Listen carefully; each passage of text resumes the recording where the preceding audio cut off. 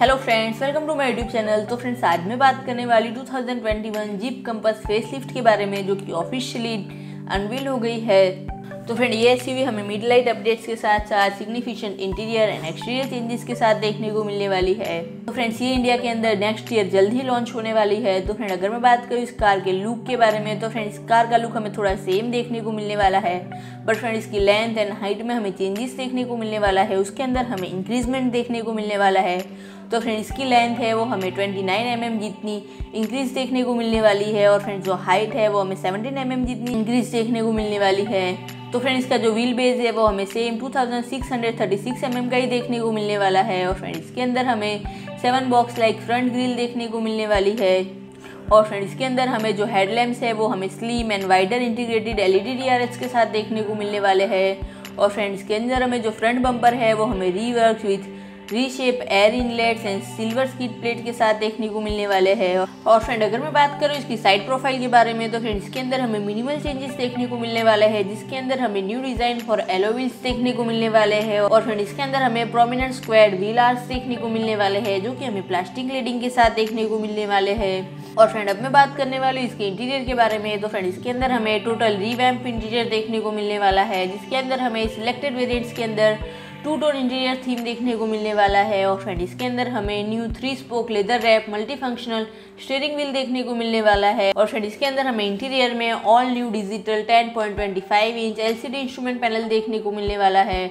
और फ्रेंड, इसके अंदर हमें जो सेंटर सॉल है, वो न्यू बॉस्ट के साथ एंड फ्री स्टैंडिंग डस्ट के इन्फॉर्मेंट सिस्टम के साथ देखने को मिलने वाला है।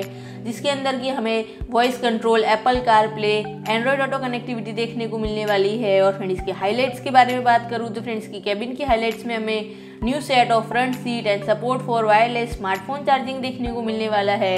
और फ्रेंड इसके अंदर हमें कुछ एक्सक्लूसिव एलिमेंट्स देखने को मिलने वाले हैं, जैसे कि इसके अंदर हमें ब्लैकआउट फ्रंट ग्रिल रेड और black decals and bonnet with trademark front tow hooks देखने को मिलने वाले हैं। और फ्रेंड इसके अंदर हमें जो फ्रंट बम्पर देखने को मिलता है उसके अंदर हमें इंक्रीज ग्राउंड क्लियरेंस देखने को मिलने वाला है, जो कि नोटिसेबल है। और फ्रेंड इसके अंदर हमें जो गैप है, जो कि टायर्स एंड बॉडी वर्क में इसमें देखने को मिलता है, वो हमें ज़्यादा देखने को मिलने वाला है। और फ्रेंड अब मैं बात करने वाली हूँ इसके इंजन के बारे में। तो फ्रेंड इसके अंदर हमें 1.3 लीटर टर्बो पेट्रोल इंजन देखने को मिलता था, वो कंटिन्यू देखने को मिलने वाला है और फ्रेंड वो हमें seven speed dual clutch transmission के साथ देखने को मिलने वाला है। और फ्रेंड इंडिया के अंदर हमें जो न्यू इंजन देखने को मिलते हैं, वो टू ऑप्शन पे देखने को मिलने वाले है। उसके अंदर हमें one litre multi air petrol and 2.0 litre multi jet diesel engine देखने को मिलने वाला है। फ्रेंड जो 1.4 लीटर पेट्रोल इंजन देखने को मिलता है, उसके अंदर हमें 160 bhp का पावर आउटपुट एंड 250 nm का टॉक देखने को मिलने वाला है।